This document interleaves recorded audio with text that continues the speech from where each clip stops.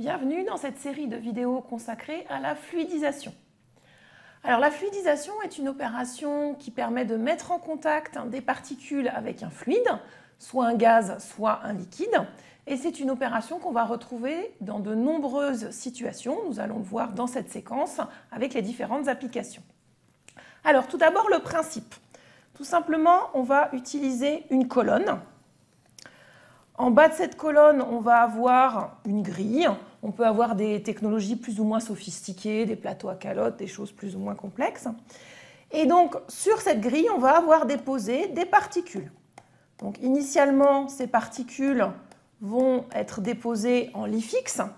Et puis, on va injecter par le bas et de manière ascendante un fluide, donc soit un gaz, soit un liquide. Et lorsque l'on va atteindre une vitesse de fluide suffisante, eh bien les particules qui étaient au départ en lit fixe vont se soulever, se fluidiser, et donc vont pouvoir avoir un mouvement important les unes par rapport aux autres. Et c'est l'un des avantages importants de la fluidisation. On va y revenir. Alors donc, cet avantage primordial, c'est l'excellent mélange que l'on obtient dans ce lit fluidisé, du fait que l'on a soulevé les différents grains de particules.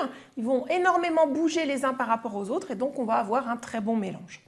On a aussi un coefficient de transfert thermique extrêmement élevé, c'est évidemment lié au bon mélange. Et on voit par exemple qu'un ordre de grandeur de coefficient de transfert thermique dans un lit fluidisé, c'est plusieurs centaines de watts par mètre carré et par Kelvin, alors que dans un fluide, par exemple, on serait en dessous de la centaine de watts par mètre carré et par Kelvin. Alors évidemment, il y a aussi des inconvénients à l'utilisation d'un lit fluidisé.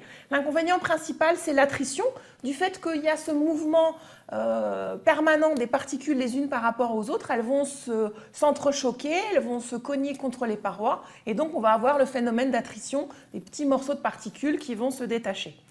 On peut aussi avoir un phénomène de ségrégation si on a des particules euh, de poids différents, de masse différentes.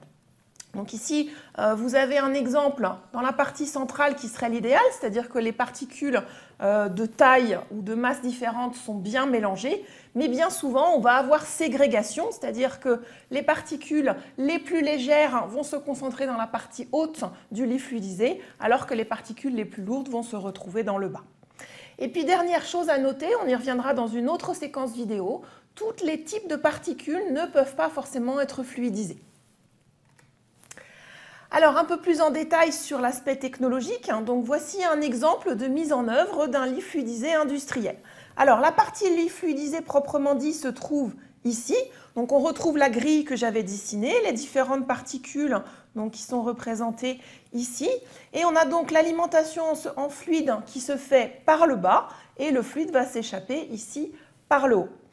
Alors ici, c'est un exemple de lit fluidisé à circulation du solide, puisque vous voyez qu'on a l'alimentation du solide qui se fait euh, ici par l'intermédiaire de la trémie et probablement une vis, et l'évacuation du solide qui va se faire euh, par la partie basse du lit fluidisé ici.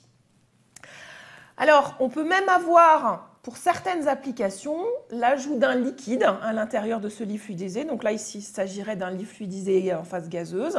Et donc, on va pouvoir asperger pour certaines applications, euh, notre lit fluidisé avec un liquide. Alors vous voyez que ce lit fluidisé euh, est constitué donc d'une partie cylindrique ici, et puis on a au-dessus une partie conique, donc un évasement euh, donc de la chambre dans laquelle on fait la fluidisation, et puis ensuite une grande partie cylindrique au-dessus ici. Alors vous voyez que ça s'appelle la zone de désengagement. Tout simplement, on va exploiter le fait qu'en élargissant le diamètre euh, de la colonne, on va avoir la vitesse du fluide qui va diminuer et ça va aider à euh, défluidiser entre guillemets les particules, c'est-à-dire qu'elles vont pouvoir retomber à l'intérieur du lit. Et si jamais ça ne suffit pas, on a mis ici deux cyclones, donc vraiment on a pris beaucoup de précautions. Un premier cyclone interne, et vous voyez que les particules qui sont récupérées vont être réinjectées directement à l'intérieur du lit. Et puis un deuxième cyclone de sécurité que vous voyez ici, euh, qui va permettre vraiment d'éliminer les plus fines particules pour avoir euh, extrêmement peu d'émissions de particules fines ici en sortie.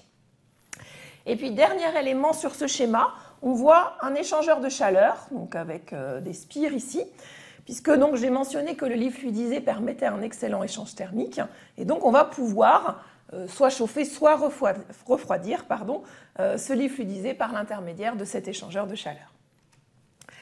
Alors les applications sont très nombreuses. Les deux principales, c'est pour la mise en œuvre de réactions hétérogènes, soit avec un solide catalytique, soit avec un solide consommable.